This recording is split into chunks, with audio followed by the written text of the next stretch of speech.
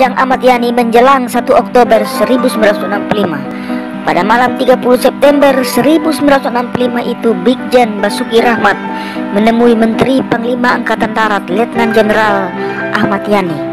Panglima Kodam 7 Brawijaya tersebut melaporkan situasi terkini di Jawa Timur terkait pergerakan Partai Komunis Indonesia beserta organ-organ pendukungnya. Kepada Ahmad Yani, Basuki Rahmat yang baru saja tiba di Jakarta dari Surabaya menyebut bahwa pergerakan PKI di Jawa Timur semakin berbahaya dengan maraknya aksi unjuk rasa yang tak jarang berujung ricu. Dilihat dari keseluruhan maka peristiwa-peristiwa di Jawa Timur dan berbagai aksi sepihak PKI bisa dipastikan itu adalah gerakan yang sistematis yang sedang berjalan, kata Basuki Rahmat. Ahmad Yani menyimak laporan itu dengan serius. Esoknya Ahmad Yani berencana membawa Basuki Rahmat menghadap Presiden Soekarno. Memang keadaan semakin meruncing. Kita menghadap sama-sama besok. Secepatnya perlu dilaporkan, kata Ahmad Yani. Namun Ahmad Yani ternyata tak pernah sempat lagi menemui Bung Karno. Malam itu menjadi malam terakhir baginya. Dini hari 1 Oktober 1965, perwira tinggi militer kepercayaan Presiden Soekarno itu tewas ditembus peluru di kediamannya. Tubuh sang panglima yang bersimbah darah dengan balutan piyama kemudian diseret dan diangkut dengan truk dibawa ke Lubang Buaya Jakarta Timur.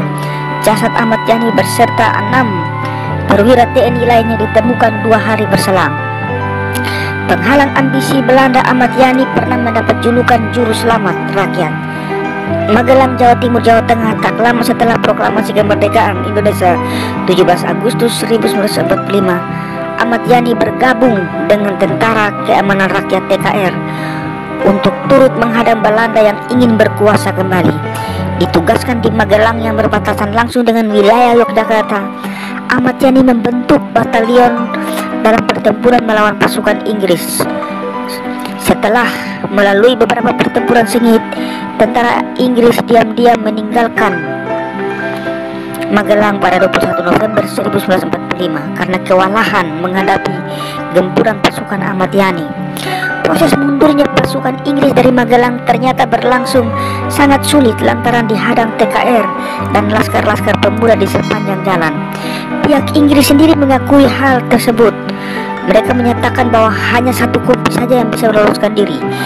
Kegemilangan Ahmad Yani di Magelang itu terjadi tidak hanya sekali, Beberapa bulan berselang pada 23 Juni 1947, Resimen 19 dari batalion yang dipimpin Ahmad Yani juga berhasil memukul mundur pasukan Belanda kembali ke Ambarawa.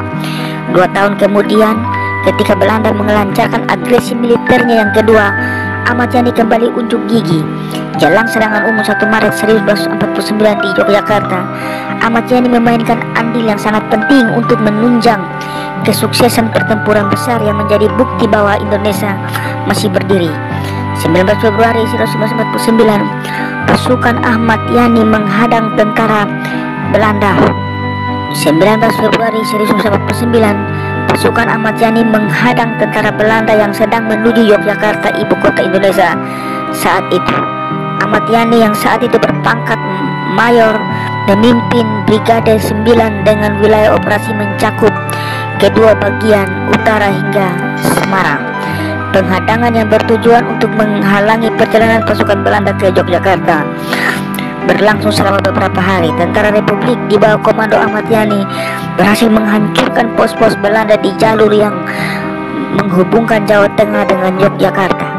Aksi ini menjadi pembuktian bahwa Ahmad Yani tidak hanya piawai memimpin penyerangan, namun Ahmad Yani juga ulung dalam menerapkan taktik bertahan dengan menjadikan wilayah utara Magelang sebagai garis pertahanan yang sangat tangguh sehingga Belanda terpaksa menyerah pada akhirnya.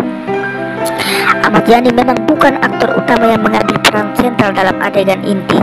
Ia tidak bertempur di Yogyakarta sebagai pusat serangan umum 1 Maret.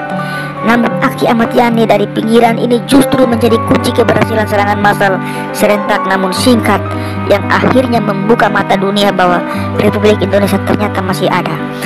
Pembasmi pengkhianat NKRI setelah Belanda mengakui kemerdekaan 1950 Problem internal bermunculan secara bergantian. Ahmad Yani pun berkali-kali berada di garda paling depan untuk menghadang perlawanan-perlawanan dari berbagai daerah terhadap pemerintahan di Jakarta. Tahun 1952, Ahmad Yani tulus meresmikan dibentuknya pasukan khusus bernama Benteng Riders. Para prajurit yang tergabung dalam kesatuan ini dilatih dengan amat keras sehingga memiliki tingkat kedisiplinan yang dan kemampuan militernya sangat mampu diandalkan. Salah satu tujuan dibentuknya Benteng Raiders adalah untuk membasmi aksi-aksi separatisme. Cikal bakal pasukan Benteng Raiders sudah diuji cobakan sebelum dibentuk Ahmad Yani menghadapi aksi perlawanan angkatan umat Islam di Kebumen, Jawa Tengah pada 1950. Angkatan umat Islam berafiliasi kepada Darul Islam Tentara Islam Indonesia yang berambisi mendirikan negara Islam Indonesia Selain angkatan umat Islam dapat dipadamkan giliran DITI pimpinan Kartosuwiryo yang disasar Ahmad Yani dan Benteng Rider setidaknya ada dua aksi militer penting yang dilancarkan Benteng Rider yaitu pada Mei 1952 dan Juni. Pasukan khusus menangkap orang-orang DITI di Jawa Tengah yang bermaksud kabur ke Jawa Barat. DITI pun akhirnya bisa dibasmi. Namun ancaman separatisme belum berakhir. Ahmad Yani kembali mengerahkan Benteng Riders untuk memadamkan aksi-aksi berbau separatisme lainnya termasuk BRRI Permesta. Benteng Riders juga turun ambil bagian dalam operasi pembebasan Irian Barat. Ahmad Yani adalah salah satu perwira TNI Angkatan Darat kepercayaan Presiden Soekarno. Memburuknya hubungan Presiden dengan Abdul Haris Nasution selaku Kepala Staf TNI Angkatan Darat karena peristiwa yang kerap disebut sebagai upaya kudeta pertama Indonesia pada 17 Oktober 1952 berdampak mulus bagi karir Ahmad Yani. Pada 23 Juni 1962, Ahmad Yani ditunjuk sebagai Kasat atau Menteri Panglima Angkatan Darat yang baru menggantikan Nasution. Posisi Nasution sendiri dialihkan sebagai Menteri Pertahanan Keamanan yang secara struktural lebih tinggi namun kurang strategis. Angkatan Darat di bawah Nasution memiliki loyalitas terbatas kepada Soekarno. Nasution yang sangat anti komunis dianggap sebagai penghalang presiden yang saat itu sedang gencar mengkampanyekan konsep masakom nasionalis agama komunis termasuk merangkul PKI sebagai salah satu pilarnya selain militer dan kelompok Islam. Soekarno menilai Ahmad Yani lebih lunak ketimbang Nasution dalam rangka mewujudkan konsep masakom itu.